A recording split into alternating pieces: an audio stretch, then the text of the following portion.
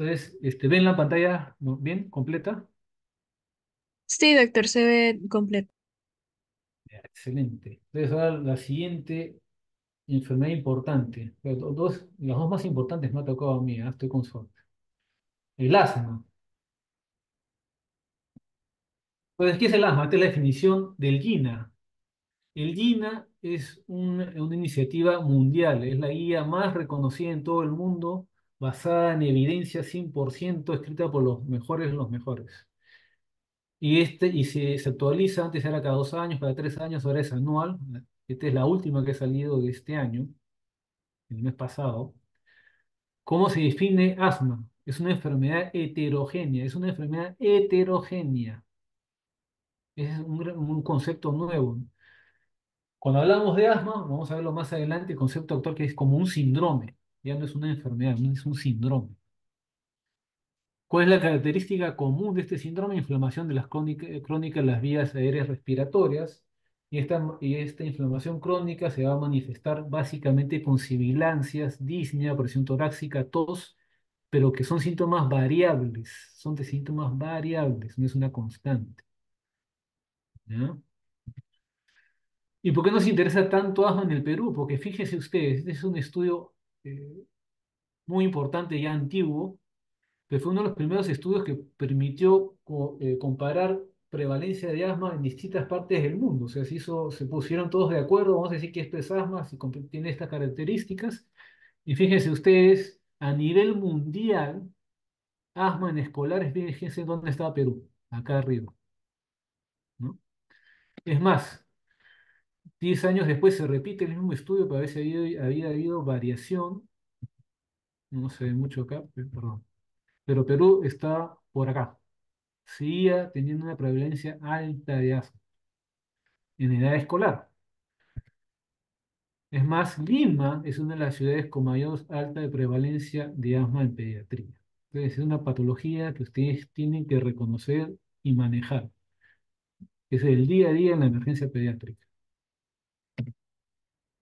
Las estructuras implicadas en el asma son todas, desde el epitelio, el músculo liso, el endotelio, incluso el sistema nervioso tiene un, tiene un papel protagónico en el cuadro clínico de asma.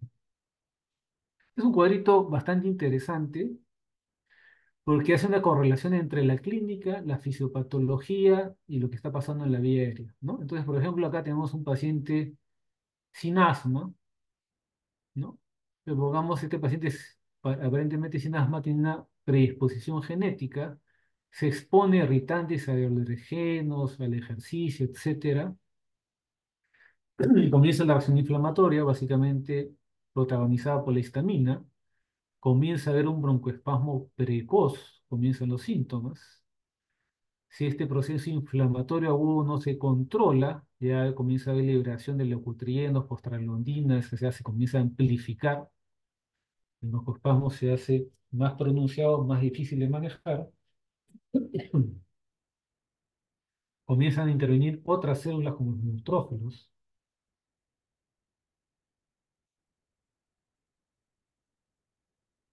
Si esto aún así no se controla, no se identifica esta inflamación, perdón, se hace una inflamación crónica y a mayor tiempo más difícil controlar la inflamación.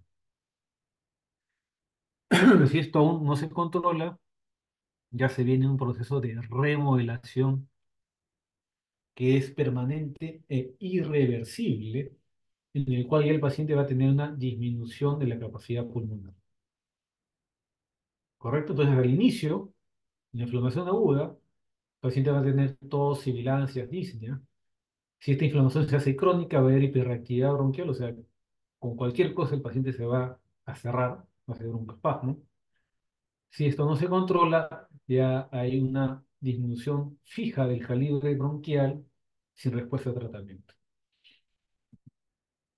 Y acá se ve gráficamente la patología. Fíjese usted, no vamos a entrar en detalles, pero miren la diferencia entre un paciente sin asma y un paciente con asma. ¿no? La membrana basal está gruesa, la membrana, la musculatura lisa, la gran cantidad de células inflamatorias, ¿no? Es bastante evidente. Esto también más o menos lo traje para ilustrar algo parecido, O sea, el mismo, los mismos pacientes expuestos a eh, humo de cigarrillo, a virus, a bacterias, a alergenos, al humo de cigarrillo. Dos pacientes, uno asmático y otro no. Paciente asmático con respuesta al linfocito T2 alto. Fíjense ustedes, mismo exposición, diferente respuesta dramáticamente, ¿no? Entre la activación de los linfocitos, eosinófilos, mastocitos, ¿no? Bueno, la fisiopatología del asma es bastante interesante y sería para eh, eh, revisarla solamente en una clase, ¿no?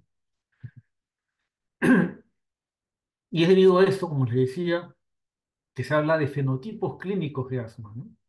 El asma alérgica, que, es lo más frecuente en pediatría y que es esta la representación fisiopatológica, ¿no? Eh, activación de los linfocitos TH2, activación de los macrófagos, los eosinófilos por las interleuquinas 4, 5 y 13, que son las más conocidas, ¿no? Activación de los linfocitos B y liberación de las inmunoglobulinas E. Esta es la fisiopatología clásica del asma alérgica, ¿no? Alérgica es de más difícil manejo.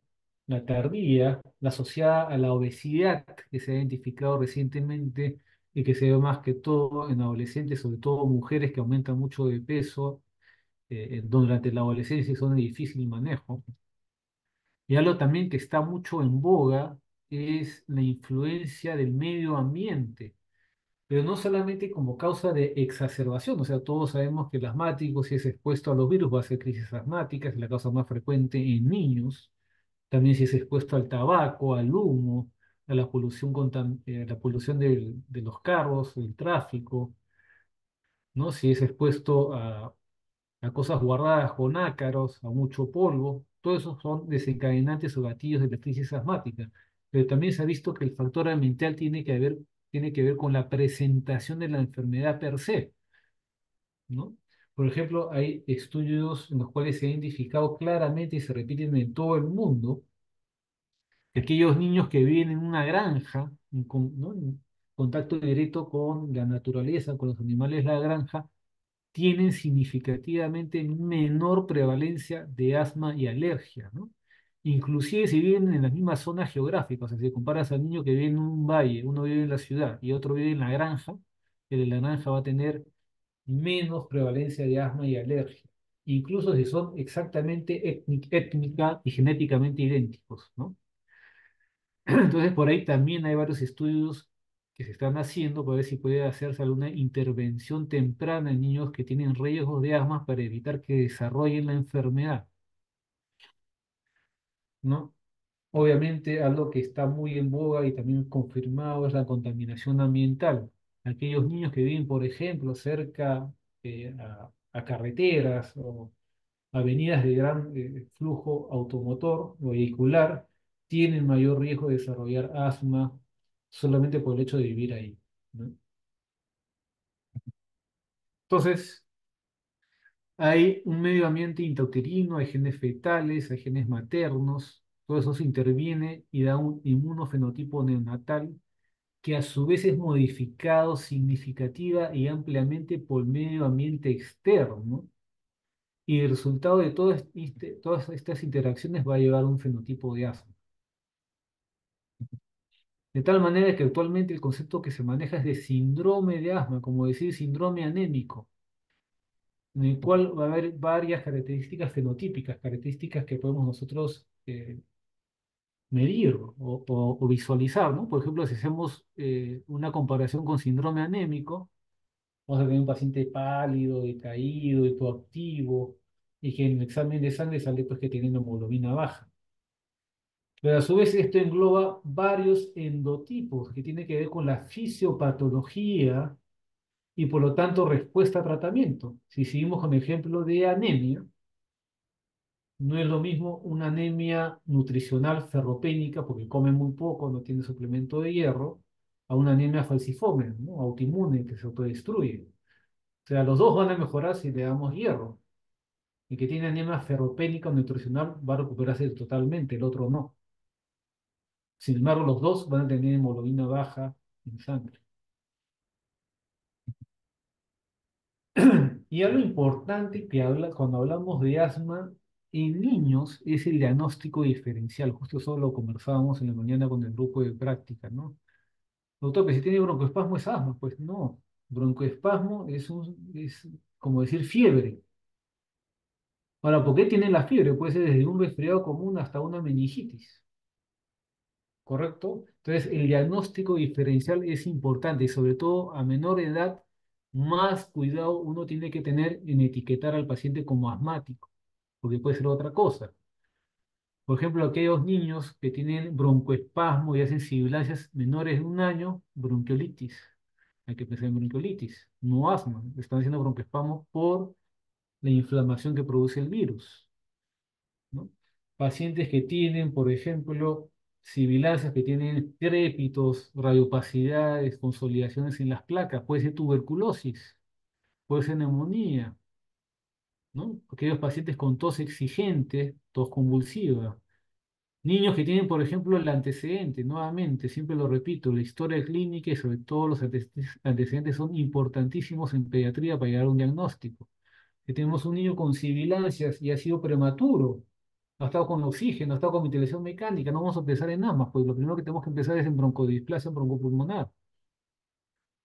Si tenemos un niño que tiene sibilancias de recién nacido, no vas a pensar en asma, pues lo primero que tienes que pensar es una malformación pulmonar congénita. A menor edad, no hay algo probable que sea algo congénito. Si tenemos un paciente que tiene sibilancias, que está desnutrido, tiene neumonías recurrentes, tiene una broncorrea, todos con una expectoración fétida, persistente, hay que pensar que ese paciente tiene bronquiectasis o una enfermedad más rara con la fibrosis quística, o si tiene aparte también otitis supurativas recurrentes o sinusitis, hay que pensar que ese niño tiene una disquinesia ciliar primaria. Si es un niño que tiene tos, sibilancias después de comer, no sube de peso. Reflujo gastroesofágico es lo que pensaron, ¿no?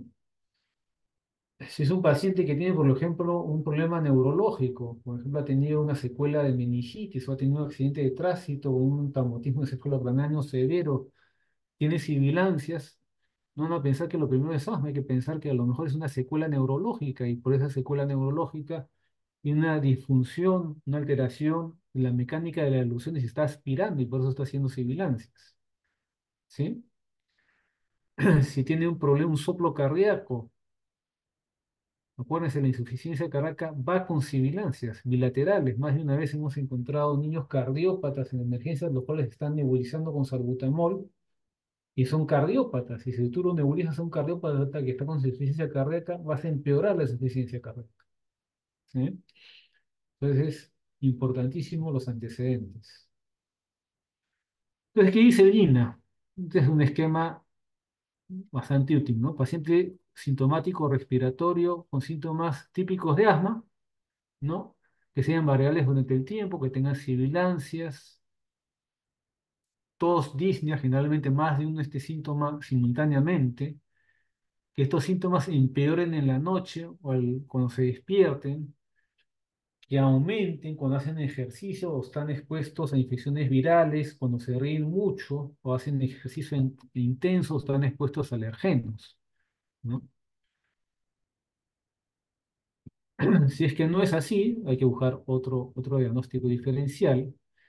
Si es que tenemos una historia clínica con un cuadro clínico compatible y tenemos un examen físico en el cual hay sibilancias, el siguiente paso en aquellos pacientes que colaboran, idealmente sería eh, confirmar objetivamente el diagnóstico con una prueba, y si hay una prueba que se puede hacer, que es la espirometría. La vamos a ver más adelante.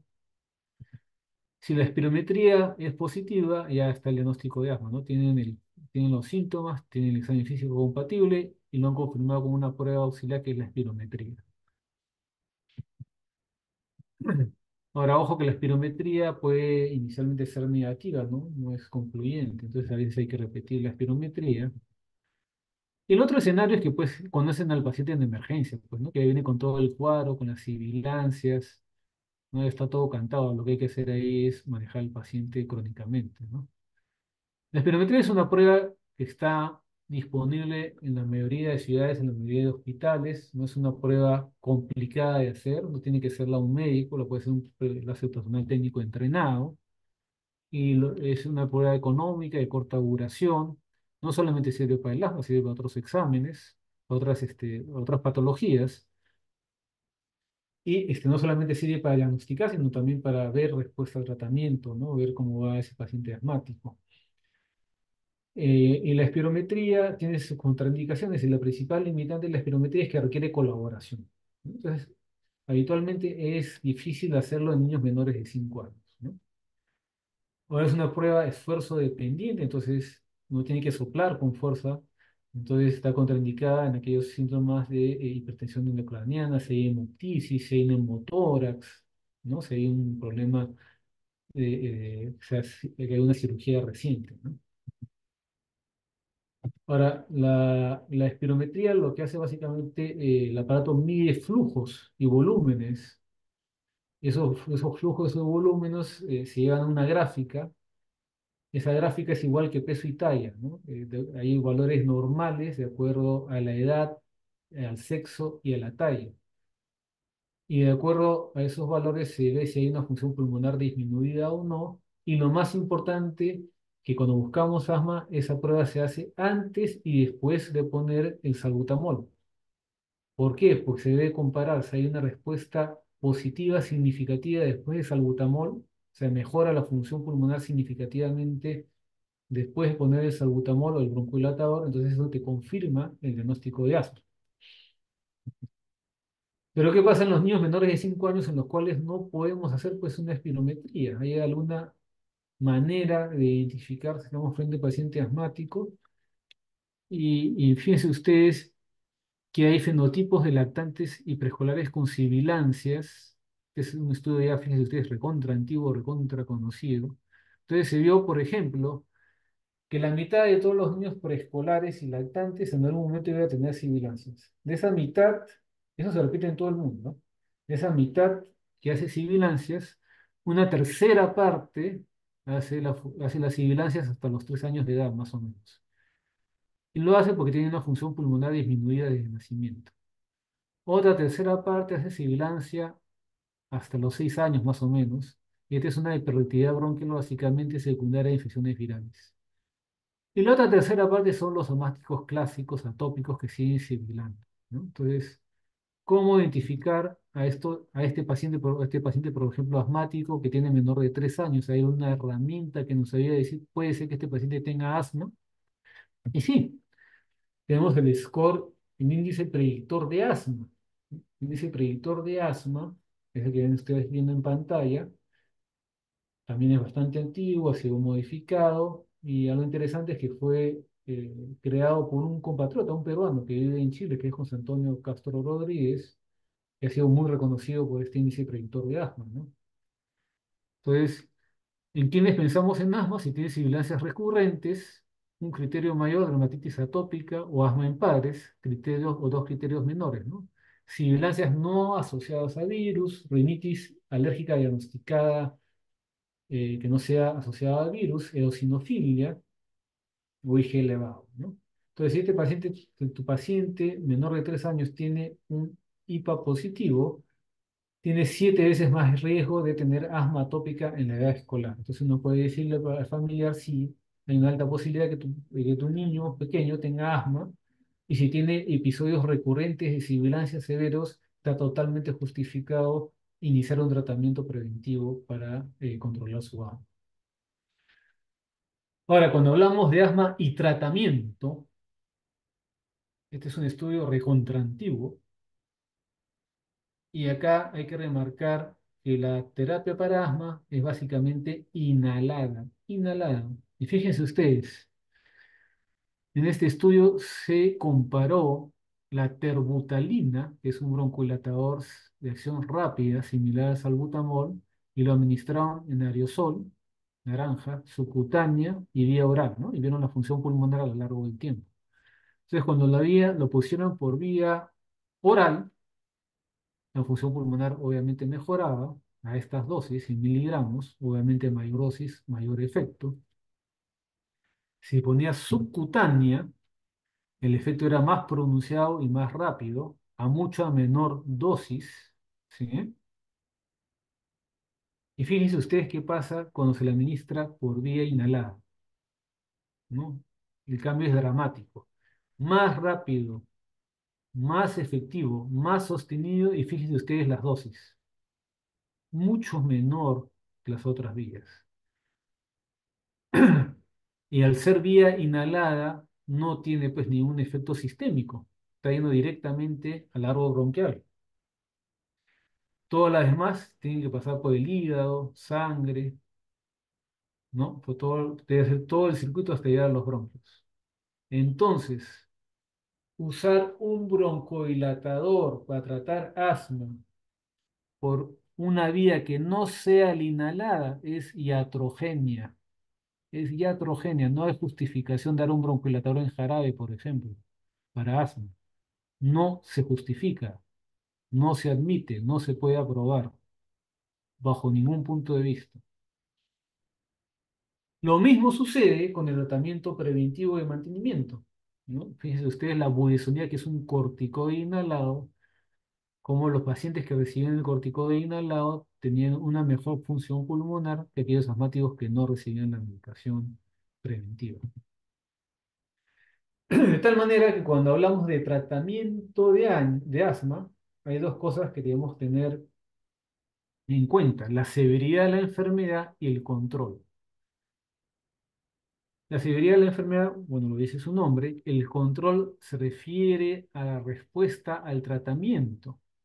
Por ejemplo, puedo tener un asmático severo, pero bien controlado. Puedo tener un asmático leve, pero mal controlado. La diferencia entre ambos va a ser el tratamiento. Este asmático severo cumple con su corticoide inhalado, lo toma todos los días y por lo tanto el niño sale a jugar, es deportista, es de la selección del colegio. Este asmático niño leve, el papá no le da la medicación, se lo da en forma irregular, el pobre chico ni siquiera puede jugar en el recreo, a pesar de que tiene un asma leve. ¿Correcto? Entonces, severidad es una propiedad de la enfermedad, el control refleja el tratamiento y la herencia del tratamiento. Tanto la severidad como el control hay que tener en cuenta dos cosas, el daño actual y el riesgo futuro. El daño actual se refiere básicamente a la intensidad, el cuadro clínico, la severidad, la limitación de la función pulmonar y la limitación pues, de la actividad del niño. El riesgo futuro se refiere al riesgo de que este niño vuelva a tener exacerbaciones, que la función pulmonar vaya decayendo y obviamente los efectos adversos de la medicación y la remodelación que hayamos conversado.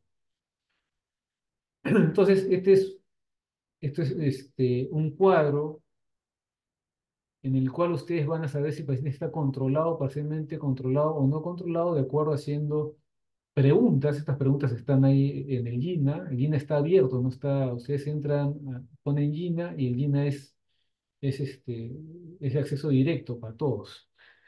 Y lo que hace, eh, se hacen unas preguntas, con los que han rotado en consultorios son las mismas preguntas que hacemos, más o menos iguales. Se refieren a síntomas diurnos, nocturnos, limitación a la actividad, necesidad de haber tenido que usar salbutamol y la función pulmonar en aquellos pacientes en los cuales se puede hacerlo.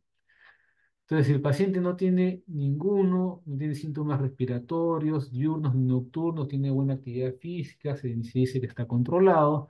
Si es lo controlado, si es lo opuesto, no está controlado y hay un parcialmente controlado. ¿Para qué nos sirve decir esto? Para, decir, para saber si tenemos que escalar en el tratamiento o no. Y si podemos disminuirlo también.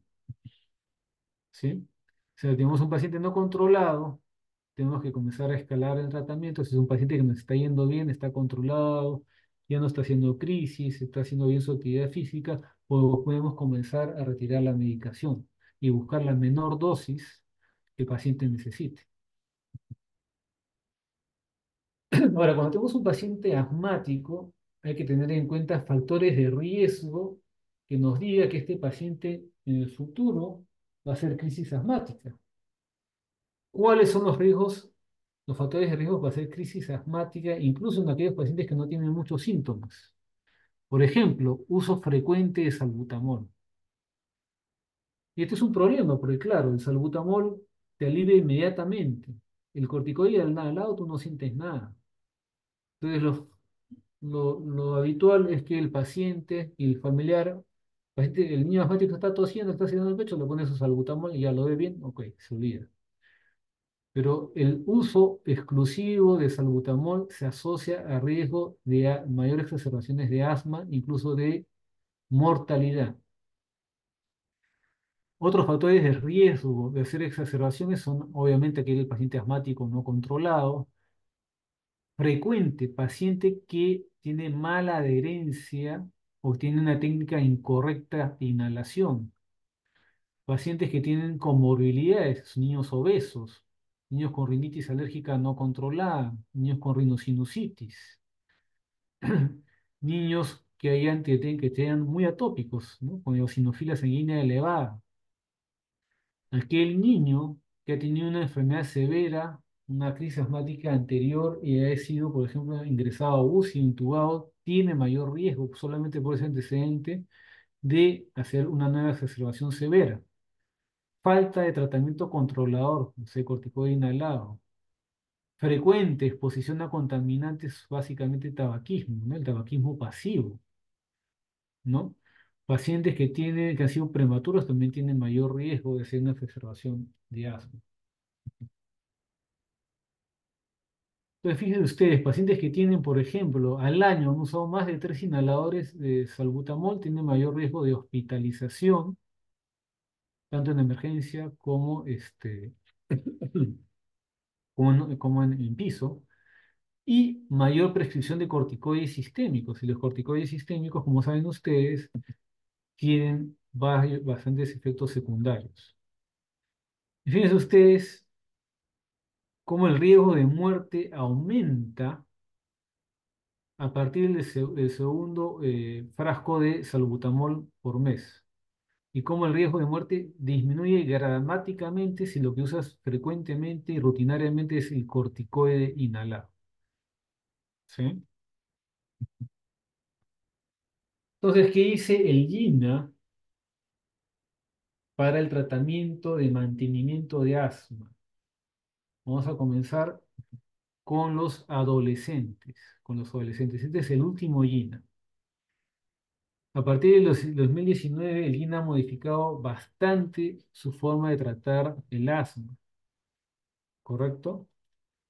Entonces, cuando tenemos un niño que tiene síntomas poco frecuentes, ¿no? Menos de, o sea, de los siete días a la semana, menos de cuatro, un adolescente, estaría el tratamiento de elección actualmente es usar corticoide inhalado asociado a formoterol. Formoterol es un beta 2 de acción prolongada que tiene efecto por 12 horas. Si es que tiene síntomas más frecuentes, la mayoría de días, ¿no? Este mismo corticoide inhalado a dosis bajas con formoterol se da, pero en forma diaria. Acá solamente cuando se pone mal. ¿correcto? O sea, si los síntomas son infrecuentes, usas este inhalador de corticoide inhalado con formoterol solo cuando tiene síntomas, en ese momento. Si son más frecuentes, ya el uso es diario. Ahora, si este paciente que usa diariamente, aparte tiene síntomas, también puede usar la combinación en ese momento que tiene síntomas, o sea, disparos adicionales. Si aún así los síntomas son frecuentes, o sea, diarios, se le limita la actividad física, no puede caminar, no puede hacer ejercicio, entonces ya se duplica la dosis de corticoide inhalado. Y ya para los casos más severos vienen ya eh, la medicación con corticoide sistémico diario y ya los nuevos biológicos, ¿no? Que ese ya es otro tema aparte. Ahora, otra alternativa, por ejemplo, esta es una medicación que no es barata, no está en todos lados, ¿qué se puede hacer? Entonces, otra alternativa para tratar a este paciente que tiene síntomas infrecuentes es usar el salbutamol con corticoide inhalado, los dos juntos, cada vez que tenga síntomas. Si el paciente tiene síntomas frecuentes, no tenemos esto, no puede pagarlo, usar corticoide inhalado a dosis baja en forma diaria. Si aún así no se controla, hay que duplicar la dosis de corticoide o asociar un beta 2 de acción prolongada. No necesariamente tiene que ser formoterol, puede haber otros que son más económicos. Y si aún así no se, no se controla, ya dosis altas de corticoide inhalado asociado. Este es el escenario en adolescentes y adultos. Adolescentes y adultos. ¿Qué pasa con los niños de 6 a 11 años? De 6 a 11 años. Entonces, aquel niño que tiene síntomas infrecuentes, ¿no? Menos pues de dos veces al mes, por ejemplo, lo recomendable es usar el corticoide inhalado con salbutamol, los dos juntos, cada vez que tiene síntomas. Si el niño tiene síntomas más de dos veces al mes, pero menos de, pero no diario, ya este niño debe comenzar con corticoides inhalados a dosis bajas en forma diaria. Si aún así no se controla o tiene síntomas más frecuentes, ya hay que duplicar la dosis de corticoide inhalado y pensar en añadir formoterol o otro beta 2 de acción prolongado como salmeterol. Y finalmente, si aún así tiene unos síntomas frecuentes, ya tiene una limitación diaria de su actividad, estamos hablando de usar corticoides inhalados a dosis media o altas, asociadas con, con otra medicación como el beta 2 de acción prolongada del formoterol.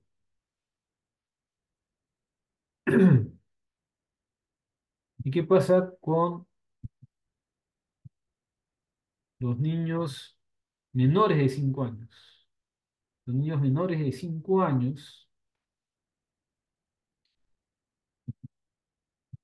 perdón, niños menores de 5 años que tienen síntomas infrecuentes solamente de salbutamol.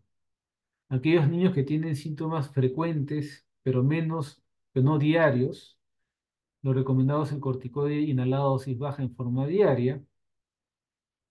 Si no se controla son síntomas frecuentes que limitan su actividad, ya corticoides a dosis moderadas, o sea, el doble de lo que estábamos utilizando. Y si aún así no se controla, ya añadir otra medicación como los antileucotrienos, ¿no?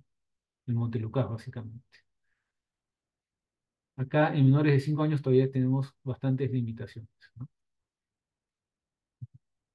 Entonces, ese es el tratamiento de mantenimiento, que es distinto al tratamiento de crisis o exacerbaciones, que eso, esto es lo que más van ustedes a hacer, ¿no? Esto es lo que más ustedes van a hacer. Más que tratamiento de mantenimiento, más van a hacer tratamiento de la crisis. Entonces, cuando un paciente, ustedes lo quieren tratar por crisis asmática, lo primero es eh, verificar que realmente sea una crisis asmática y que no sea otro, eso es lo primero, o sea, que sea asma. Y segundo, ver la severidad de esa crisis de asma. Y lo que más se utiliza es el pulmonary score. Hay una puntuación va a depender de la edad, de la frecuencia respiratoria, ¿no? Menos o menos de, menos de 30, menos de 20, ¿no? Cero puntos y va aumentando el puntaje de acuerdo a la frecuencia respiratoria y la edad. La presencia o no de sibilancias, en qué momento, y la presencia de uso de, uso músculos accesorios, básicamente el esternocleidomastoideo. Entonces ustedes hacen una suma y de acuerdo a eso van a tener una crisis asmática leve, moderada o severa. También, entonces, si tiene tres puntos, hasta tres puntos es leve, si de 4 a 6 es moderada, si es grave es de 7 a más. De la mano, generalmente ya pues en todos los lugares o casi todos tenemos un pulsoxímetro, un saturómetro de mano y también se puede catalogar la crisis asmática de acuerdo a la saturación. Grave si es menos de 91, respirando FIO 021, o sea, ambiental, moderado 91-94 y leve más 94. Pero ¿qué pasa si ustedes, por ejemplo, a ese mismo paciente le hacen un score clínico y tiene un score, un pulmonary score de 3, satura menos de 91. ¿Cómo lo catalogan? ¿Como leve o grave? Cuando hay una discordancia, lo más severo es lo que, lo que pesa. sea, en este caso sería una crisis asmática grave. ¿Sí? Y finalmente hay criterios de severidad. Hay criterios de severidad. O sea, el paciente ya ni siquiera hace la puntuación. Si el paciente llega tiene cualquiera de estas cosas, ese es un asmático severo, de arranque. Ni siquiera tiene que saturarlo, ni hacerle puntaje, nada. ¿Cuáles son los casos? Tórax silente. Tórax silente quiere decir que ustedes ya ponen el estetoscopio y no escuchan nada. O sea, el espasmo es tan severo que no pasa el aire. Síndromes de fuga de aire. Paciente que viene con neumomediastino, neumotoras, que eso no lo van a ver ustedes, ¿no? No pueden, pueden presumir que tienen eso, lo van a confirmar con una radiografía, pero lo que sí pueden ver al examen clínico y fácilmente es el enfisema subcutáneo. El enfisema subcutáneo que lo van a ver a nivel cervical básicamente y supraesternal. Lo van a sentir, ¿no? Van a poner los dedos, van a apretar, van a sentir como, como crépitos, como esas bolsitas de, llenas de, de, aire que vienen protegiendo los, a los equipos electrónicos cuando compra uno, ¿no? Otro criterio severidad, trastorno del sensorio paciente asmático con trastorno del sensorio severo, atelectasias múltiples o masivas, hipoxemia marcada obviamente, o aquel paciente asmático que viene con una frecuencia respiratoria baja, ¿no? Ese paciente se está agotando. Todo paciente asmático que llega a emergencia llega con una frecuencia respiratoria mayor, elevada. Si viene con una frecuencia respiratoria debajo del límite normal, es que ese paciente se está agotando, está con una crisis asmática severa. ¿Cómo manejamos, las crisis asmáticas? Básicamente con el salbutamol y el corticoide sistémico. ¿Sí? Si viene con un asma leve, se, este, se da el salbutamol cada 10 o cada 20 minutos más corticoide sistémico. Por ejemplo, si viene el paciente con una crisis asmática y este paciente asmático leve se va de alta, pues no se queda en la casa, no se quedan en la emergencia. ¿A quiénes lo dejamos en la emergencia? Aquellos pacientes que tienen un puntaje moderado. ¿Cómo los tratamos? Con salbutamol 4 a 10 puff cada 10 o cada 20 minutos, más corticoide sistémico por una hora. Si queremos ser más específicos, el INA lo deja así abierto, a 4 a 10 disparos. El IEMA, que es la guía española, dice que en casos moderados es de 4 a 6. Si es severo, ya hasta 10. A la hora ustedes tienen que reevaluar el puntaje. Si sigue con el mismo puntaje, le dan otra hora más de tratamiento, cada 20 minutos, y asocian el bromuro de hipatropia. Si no hay mejora, algunos dan una tercera hora de tratamiento y recién hospitalizan. Otras guías dicen hospitalizado de frente, ¿no? Depende del manejo que tengan en el hospital donde van y también depende de cómo esté su emergencia, ¿no? Si su emergencia está saturada, mejor es ya hospitalizarlo. Si ustedes lo pueden manejar una hora más, pueden monitorizar al paciente, ¿no? El que paciente severo ya tiene que pasar obviamente no solamente a pabellón, sino cuidados intensivos y el tratamiento es distinto, ¿no? Vamos a ver más adelante. Entonces, el manejo inicial básico para broncohilatar es el salbutamol, que puede ser por vía nebulizada, en las dosis que ustedes ven ahí, pero lo que más se está utilizando es el inhalador con aerocámara. Con aerocámara es igual de efectivo que nebulizar al paciente, uno. Segundo, es más barato. Tercero, uno entrena al familiar en la emergencia con la, sobre la técnica adecuada de inhalación. Entonces, ese paciente, ese cuidador y el niño van a ir ya entrenados a casa. Esa es la ventaja también adicional. La única ventaja de nebulizar al paciente es que ah, se debe nebulizar con oxígeno, o sea, con aquellos pacientes que están hipoxémicos. ¿Correcto? Esa es la única ventaja. Corticoide sistémico, siempre preferir la vía oral. Es igual, el efecto del corticoide sistémico lo vamos a ver recién a partir de las dos o cuatro horas, independientemente de la vía de administración. La idea de dar el corticoide en emergencia es que el paciente no regrese más tarde, se comience a controlar la inflamación. No es la idea de que en ese momento el corticoide te va a sacar de la crisis. Lo que te va a sacar de la crisis es el broncodilatador. Y el corticoide es para contener la inflamación y que ese paciente no regrese. Lo que más se utiliza es prednisona, ¿no es cierto? También hay dexametasona vía oral o endovenosa y la metilprednisolona que es endovenosa. ¿En qué caso deberíamos dar corticoides sistémicos sí o sí? En el caso de que el paciente es médico, ese paciente que está en la emergencia esté, esté, intol- esté intolerante, no esté vomitando, no tolere la vía oral, entonces ahí no queda otra que darle por vía, sistem- eh, vía endovenosa intramuscular. El bromuro hipatropio también se da por vía inhalada, tiene un efecto broncodilatador, es anticolinérgico, entonces también tiene la ventaja que disminuye la broncorrea y sobre todo tiene acción en la vía aérea central, en los grandes bronquios. Entonces se recomienda usarla en crisis asmáticas moderadas. Moderadas y severas, se da a la par con el salbutamol, ¿no? Se ha visto que hacer eso se mejora la función pulmonar y disminuye eh, las hospitalizaciones.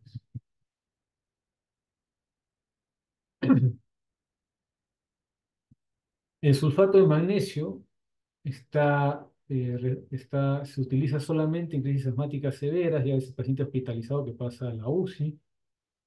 Es una sola dosis, ¿no?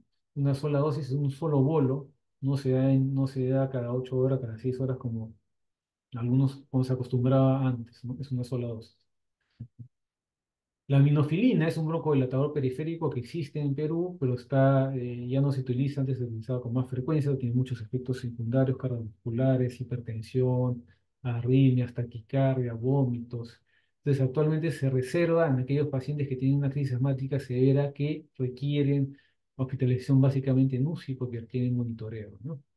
¿Y cuál es la idea? De que, bueno, en aquel paciente asmático severo, como está tan cerrado el bronquio, el broncodilatador por vía inhalada no llega. Entonces hay que hacer que llegue por otra manera y una de esa manera es por vía endovenosa con eh, la minofilina, ¿no? Obviamente hay otros broncodilatadores endovenosos, pero que no hay en Perú, por ejemplo, la, terbutalina que les enseñaba inicialmente. Entonces, en resumen, ustedes deben considerar que el AMA es un síndrome que tiene múltiples factores etiológicos, múltiples gatillos, múltiples mecanismos fisiopatológicos, múltiples combinaciones de todo lo anterior. Es un diagnóstico de exclusión, ojo, es un diagnóstico de exclusión, sobre todo en los más pequeños. A menor edad hay que ser más rigurosos con el diagnóstico de asma.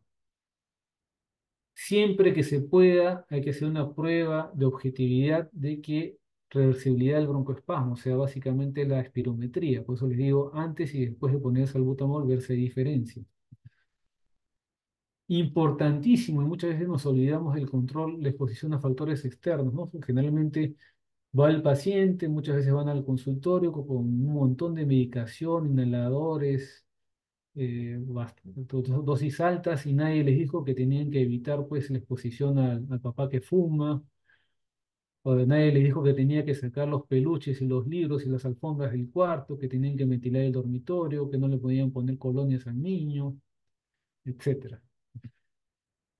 Siempre revisar la técnica de inhalación, ¿no? Hay, hay varias, varias, este, varios videos que algunos habrán visto de cómo son los inhaladores, incluso en programas de televisión eh, famosos se ha visto cómo son los inhaladores en forma incorrecta. Importante identificar las comorbilidades, o sea, si tenemos un niño asmático y es obeso, ese niño nunca va a mejorar mientras que no baja de peso. Si tiene una rinitis alérgica que no la estamos tratando, tampoco va a mejorar. Y recordar, pues, que el asma es bastante frecuente. Va a haber, yo sé que hay un taller de crisis asmática, ese, eso, en ese tienen que revisar cómo identificar y manejar al paciente asmático. Hay dos guías importantes, el GINA que les he mostrado y la otra es el YEMA, que es la guía española. Ambas tienen actualizaciones de este año y son, están abiertas. Entonces la bajan fácilmente por internet. Preguntas, dudas de asma. Yo imagino que habrá varias.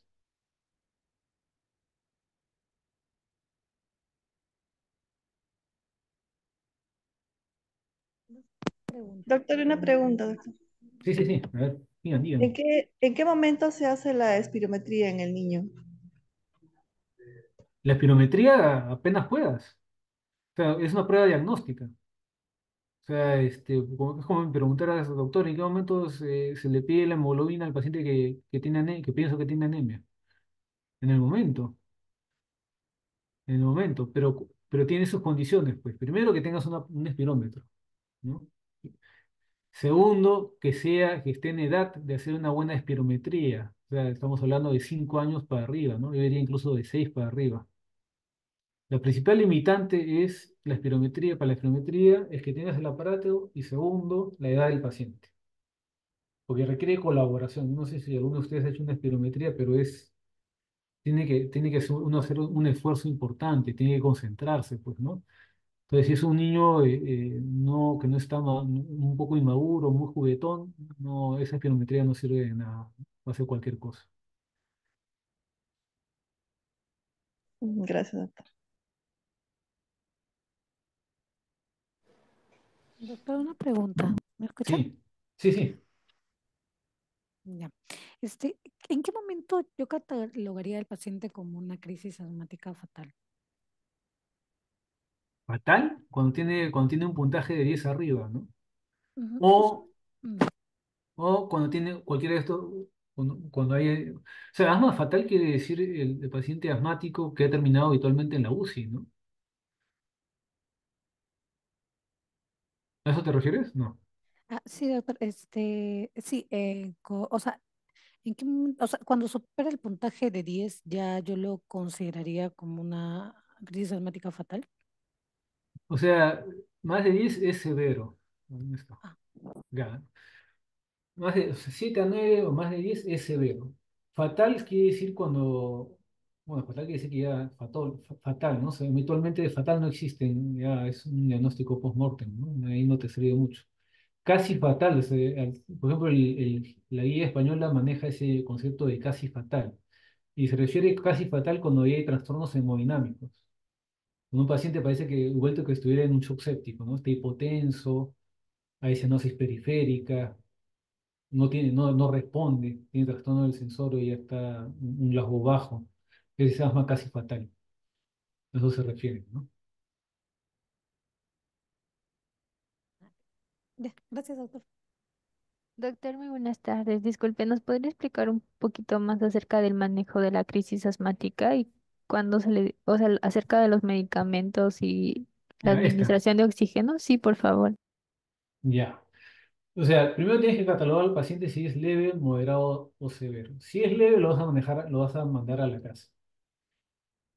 Del moderado para arriba es el que vas a tratar en la emergencia. Si le das oxígeno o no, eso va a depender de la saturación, ¿no es cierto? Va a depender de la saturación. El paciente tiene que saturar 94 para arriba, mínimo. Si está saturando menos, tienes que ponerle su cánula, por lo menos su cánula binasal. Sea, oxigenoterapia, paciente que, o sea, el primer paso es dar oxígeno suplementario. Segundo es revertir el broncoespasmo, que es lo que lo ha llevado a ese cuadro. Para eso tenemos el salbutamol. El salbutamol Actualmente lo recomendado es darlo con el MDI, ¿no? El, el aerosol, con la aerocámara, con aerocámara. ¿Cómo das, cómo lo administras, cómo lo indicas o cómo se lo das? Entre 4 y 10 puff cada 10 minutos. ¿Cómo decides si darle 4 o 10? Una, una orientación es la que da la guía española. Si es moderado, 4 a 6. Si está en un puntaje más de moderado, lo que tú quieras. Entonces le comienzas a dar 4, 5, 6 puffs, lo que quieras, cada 10 minutos y le das la primera dosis de corticoide sistémico. Recomendable vía oral. Lo que más está siempre a la mano, prednisona. Dosis de prednisona, 1 miligramo por kilo. Después de los 10 minutos, vuelves a reevaluar al, al paciente, luego de la hora, perdón, luego de la hora, es cada 10 minutos por una hora, luego de la hora, haces la reevaluación, haces tu puntaje, lo saturas, Si sigue igual, no mejora, le haces una segunda tanda, igualito, pero ya añades bromuro y patropio. Estamos hablando de un moderado. Si no hay mejoría, tienes que hospitalizarlo. Alternativamente, dependiendo de la saturación de tu emergencia o la guía o el fluxograma que tengan donde tú trabajes, puedes dar- intentar una tercera hora más de eh, la misma terapia o ya pasar la hospitalización. Hasta ahí lo van a manejar ustedes. Entonces, en realidad, lo que tienen que tener ustedes en la cabeza es el salbutamol, los, los PUF y el corticoide de vía oral. Ahora, si el paciente no tolera la vía oral, tienen que dar corticoide sistémico. ¿Cuál corticoide sistémico pueden dar? Pueden dar la dexametasona intramuscular, no aconsejable porque el paciente lo van a hacer llorar, va a llorar, se va a poner irritable y eso va a provocar más broncoespasmo. Y no saben si más adelante va a necesitar mayor dosis o otra dosis adicional o colocar un endovenoso. Yo sugiero en esos casos endovenoso. ¿Por qué? Porque aparte de poner la medicación, lo hidratas, ¿no? Porque está vomitando. Aparte del vómito, acuérdense ustedes que el paciente con crisis asmática tiene un aumento de las pérdidas insensibles. Entonces, si tienes un paciente asmático que no tolera la vía oral, que está vomitando, mejor es ya poner una vía endovenosa. Para administrar el corticoide que tengan ustedes a la mano, el que tengan, Dex, hidrocortisona, metilprednisolona, cualquiera, igual va a ser. El efecto va a ser el mismo.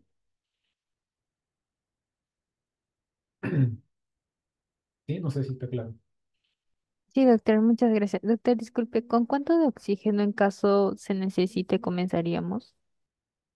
Bueno, si usas una cánula nasal le puedes dar hasta 4 litros, ¿no? De 4 litros para arriba ya tienes que usar una, masca- una máscara. De 8 litros para, libra, para arriba ya tiene que ser máscara con reservorio, ¿no? Tú usas el oxígeno que necesita, que, que necesita el paciente para saturar bien. Entonces, la mayoría de pacientes, la mayoría de pacientes, una cánula de 3 litros se controla, ¿no? Porque ahí ya comienzas a hacer el tratamiento broncohilatador y conforme se vaya broncohilatando, la saturación también va a ir mejorando. ¿ya? Sí, todo claro, doctor. Muchísimas gracias. Muy bien. ¿Alguna otra pregunta? Sí, Doctor, doctor, una consulta. ¿Y la inmunoglobulina E nos ayudaría en el término, en el proceso de diagnóstico o no? sí, sí, sí, claro. El, el, recuento de eosinófilos y valores de inmunoglobulina E, ¿no? La cosa es que este, la medir inmunoglobulina E no es pues una prueba que está a la mano, ¿no? No en todos los laboratorios se hace. El valor de eosinófilo sí, ¿no? Porque sacas un hemograma y ves porcentualmente si hay eosinofilia, ¿no? Más de 5% ya es una eosinofilia, ¿no? Es un criterio a favor de eh, que ese paciente es alérgico y que, por lo tanto, el cuadro clínico de sigilancia puede verse ASA. Si tiene una inmunoglobulina E elevada también, pero como te digo, la inmunoglobulina, E, esa prueba no es eh, rutinaria, ¿no? El hemograma sí lo puedes, a cualquier paciente le puedes sacar el hemograma en cualquier lugar, ¿no?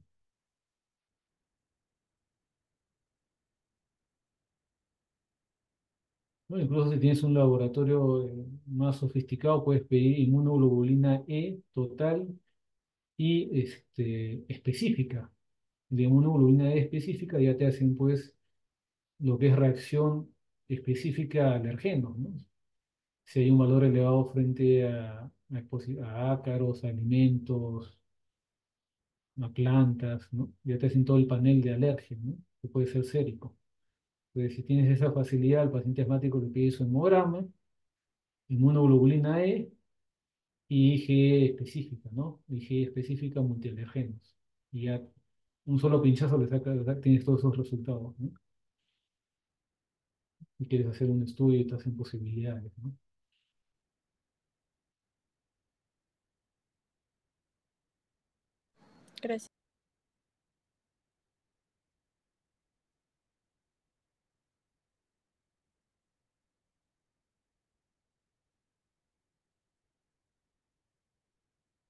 ¿Qué más, chicos? ¿Alguna otra pregunta?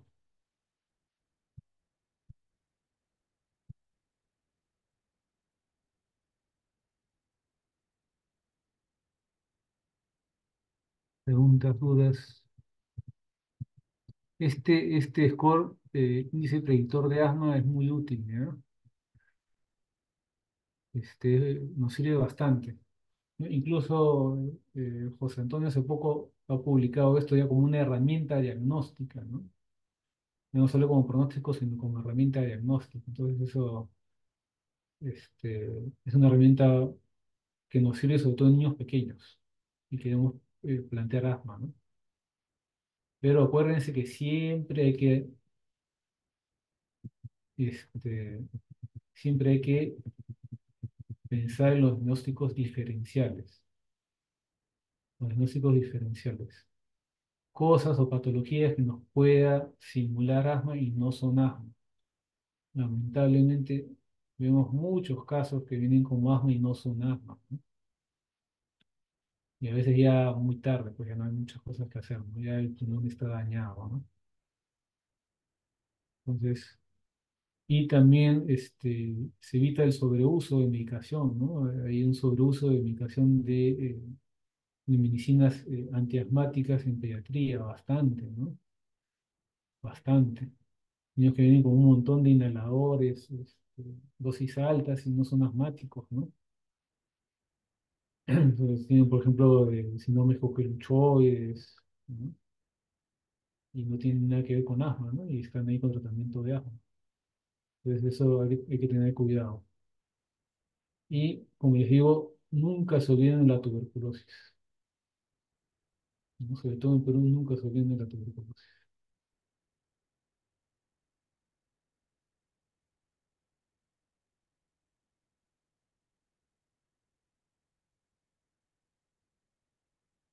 Preguntas.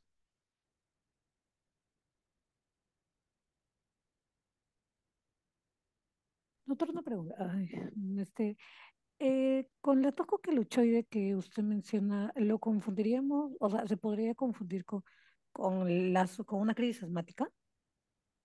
¿O Claro, si tienes, si Ah, tienes, si tienes en, claro, pues porque la crisis, crisis asmática no tanto, pero sí como asma, ¿no? Porque una de las características del asma es la tos, ¿no? Y sobre todo tos nocturna o vespertina, que también lo ves en el síndrome coqueluchoide, ¿no? Entonces, si si lo ves por ese lado, se puede, pues, es un diagnóstico diferencial, ¿no? Y muchos consideran, eh, se confunden, pues, ¿no? El, estridor, ¿no? Inspiratorio del coquelucho, síndrome coqueluchoide con sibilancias. No es lo mismo. Entonces, todos, si escuchan ese ruido, puede, puede parecer un asma, ¿no? Si no tienes este, cuidado. Gracias, doctor.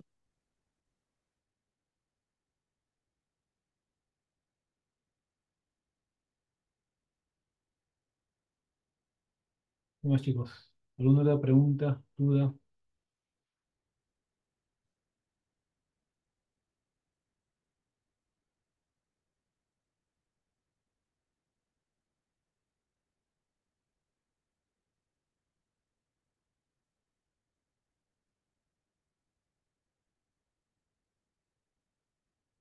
¿Sí? ¿Todo bien? ¿Todo claro?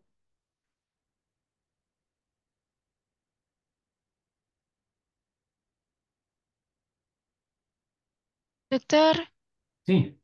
doctor, disculpe, ¿cree que podría explicar nuevamente la parte del tratamiento del mantenimiento en niños menores de 5 años? Ya, ¿no?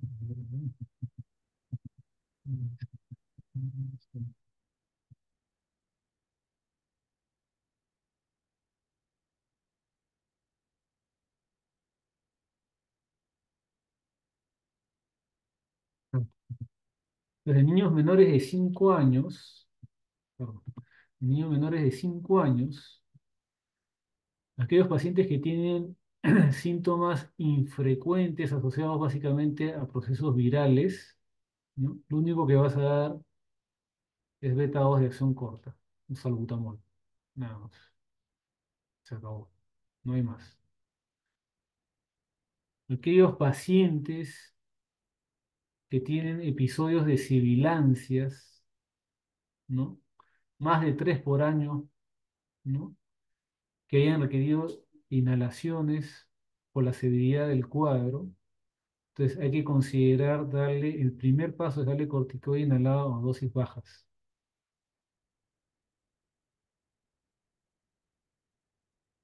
Si aún así no se controla o los síntomas son frecuentes, diarios, hay que duplicar la dosis de corticoide inhalado. O sea, estamos hablando de dosis moderadas. Y hasta ahí llegamos, porque de ahí adelante, a esta edad, lo recomendable ya es derivar al paciente. ¿Por qué? Porque ya significaría dar dosis altas de corticoide o comenzar a utilizar medicación que no es habitual para esa edad. Entonces, básicamente, si ustedes tienen un paciente menor de 5 años y sospechan que tienen asma, mantenimiento, lo primero, corticoide a dosis baja. ¿No? Y cuando hagan un tratamiento de mantenimiento, estamos hablando de por lo menos unos tres meses, ¿no? Para evaluar bien si hay respuesta o no. Pasan los tres meses, el paciente va bien, perfecto. El paciente va mal, no se controla, se ha hospitalizado, duplicar la dosis de corticoide. El paciente no tiene respuesta, ya tienen que derivarlo, ¿no? Hay que buscar más cosas en ese paciente o a lo mejor añadir una medicación que no es habitual. Entonces, lo que van a hacer ustedes básicamente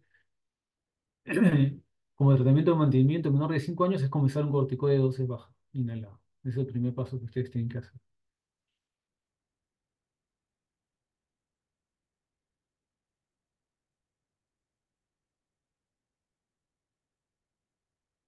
¿Sí?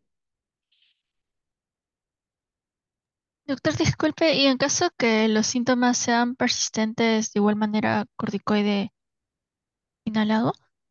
Sí, claro, el pilar del tratamiento preventivo, el tratamiento preventivo no es de crisis, ¿no es cierto? Es preventivo, como dice su nombre, prevenir que ese chiquito tenga otra crisis asmática, otra, otro episodio de sibilancia.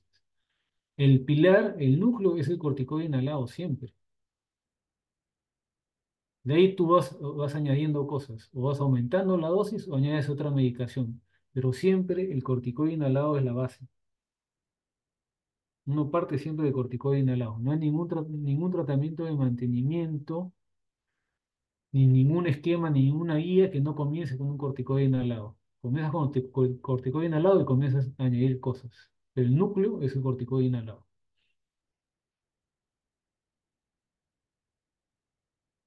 Muchas gracias, doctor. Ujú. Doctor, una consulta. Y en esa misma pregunta, ¿el salbutamol por cuánto tiempo se daría? En el step 1.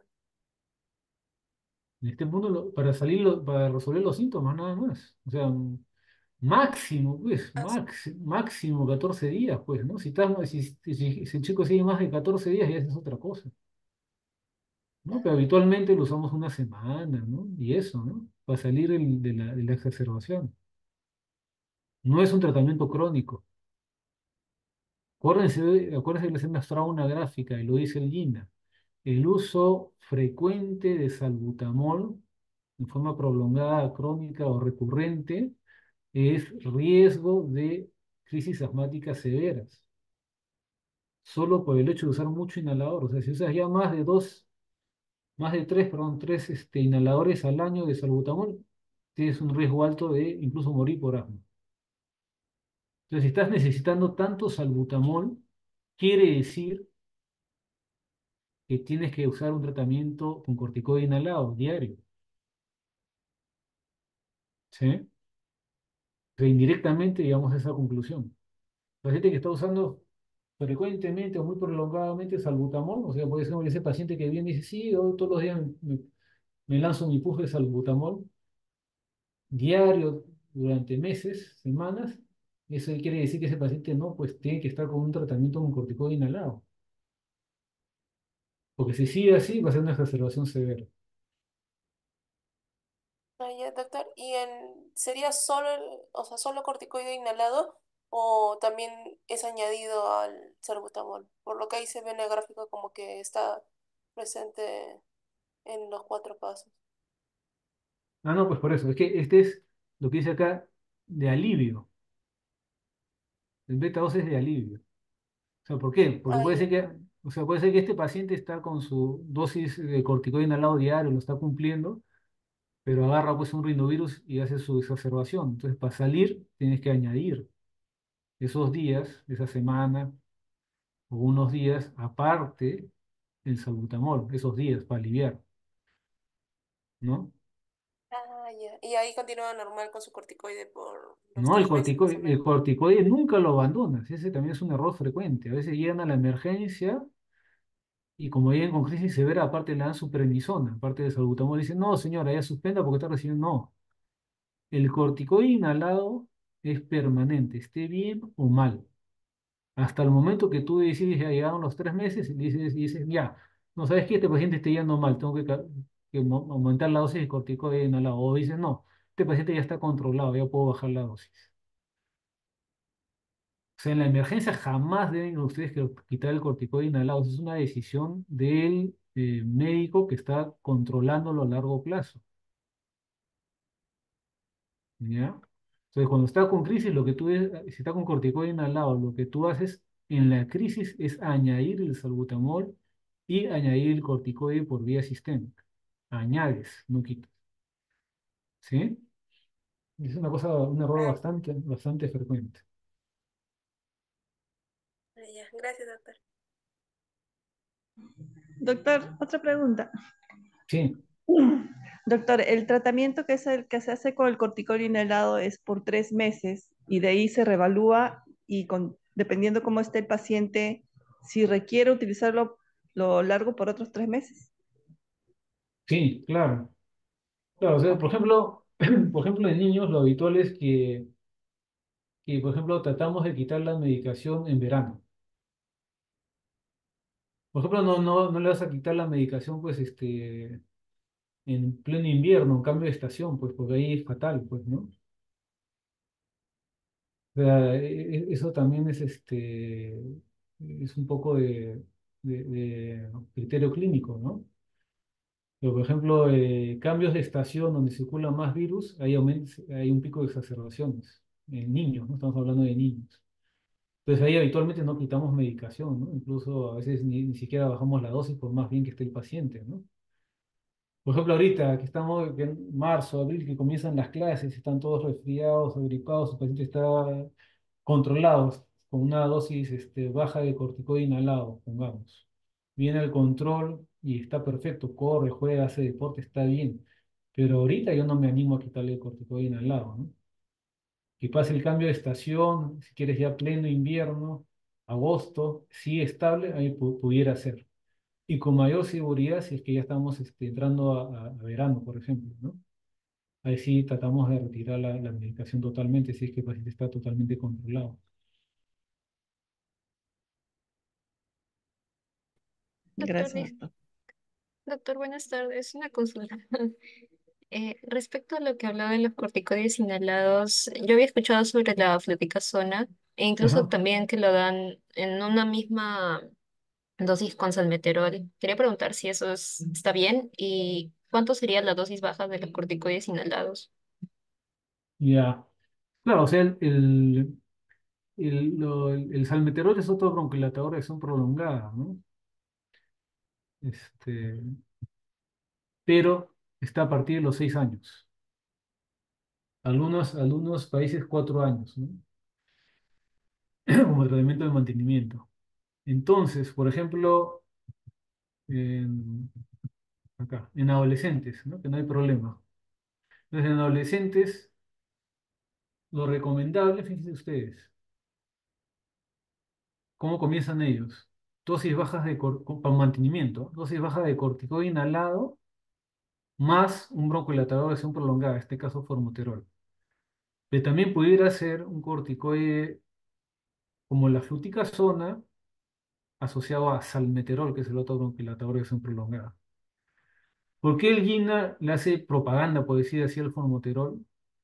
Porque en adolescentes, y esto es lo que ha cambiado, es que puedes usar el mismo inhalador también para salir del apuro, para el rescate, para el alivio.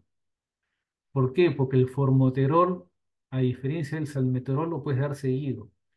El salmeterol solamente lo puedes dar cada 12 horas. Y la otra diferencia es que el formoterol actúa igual de rápido que salbutamol. El salmeterol no, demora. Por eso el único broncohilatador de acción prolongada que puedes usar como mantenimiento y como rescate es el formoterol. O sea, puede- y acá puede haber otro corticoide inhalado, ¿no es ¿cierto? Puede ser fluticasona, puede ser budesonida, puede ser biclometasona, depende de lo que haya en el mercado. Pero para rescate, el único, lo único que puedes usar son dos cosas, o salbutamol o formoterol, y se acabó. Entonces, ¿por qué esto es lo sugerido por el, por el INA? Porque el paciente usando un solo, lleva un solo inhalador, esté mal o bien. Mientras que en los otros casos tienes que tener aparte tu inhalador con salbutamol, ¿no es cierto? Acá no. Entonces, eh, es- esa es la explicación. Y en cuanto a las dosis, este, por ejemplo, dosis bajas de eh, budesonida en pediatría es de 200 para abajo, de fluticasonas de 125 para abajo. De ahí para arriba son ya moderadas, ¿no? que es lo más usamos. Beclometasona, es lo otro que hay bastante, es 250. Menos de 250 son dosis bajas, más de 250 son moderadas.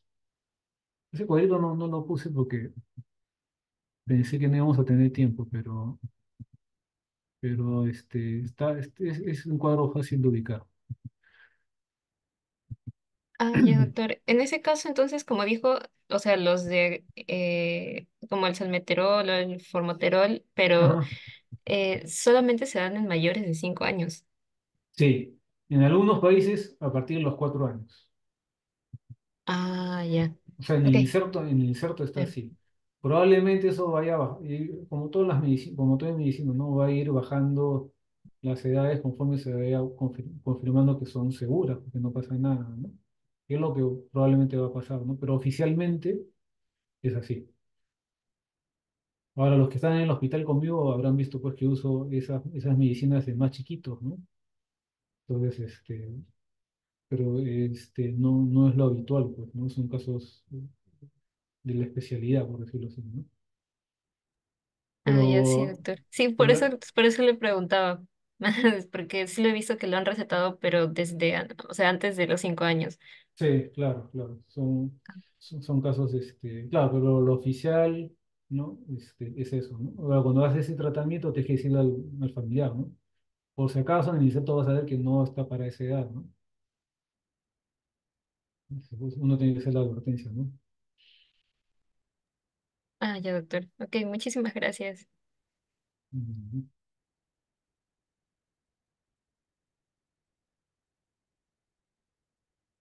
¿Qué más, chicos?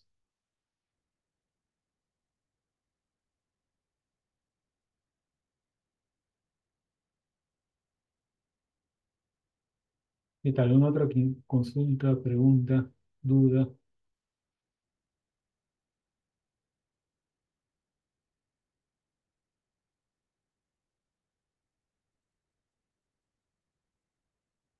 ¿Sí? ¿Todo claro? Sí, doctor, todo claro.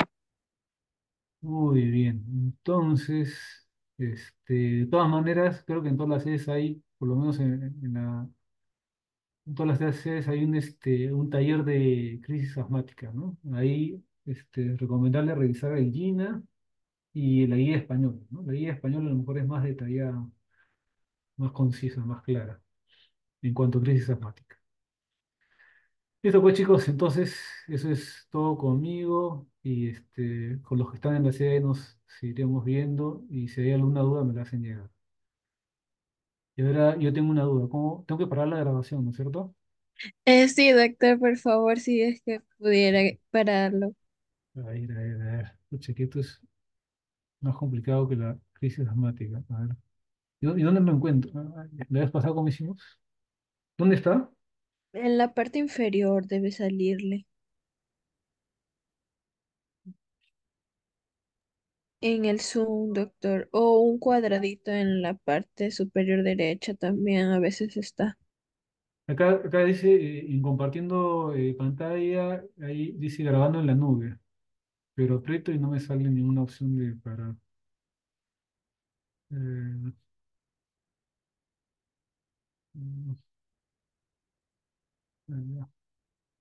Acá, pausar, detener grabación. acá, detener grabación. Eh,